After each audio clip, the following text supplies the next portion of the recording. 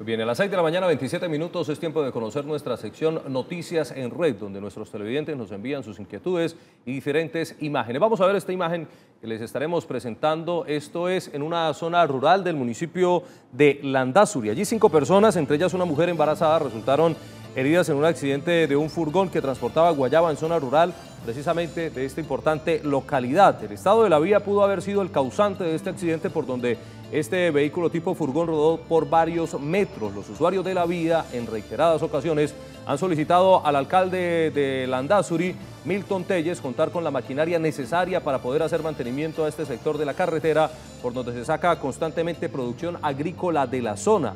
Hay tal inconformismo que para el próximo 2 de noviembre se tiene planeada una manifestación de todas las comunidades del sector de Miralindo, San Ignacio, La Tablona, Corinto y otras veredas que el alcalde de Landazuri, al parecer y según lo denuncia la comunidad, tendría olvidadas a las comunidades de esta vereda. Esta es Noticias en Red en Buenos Días.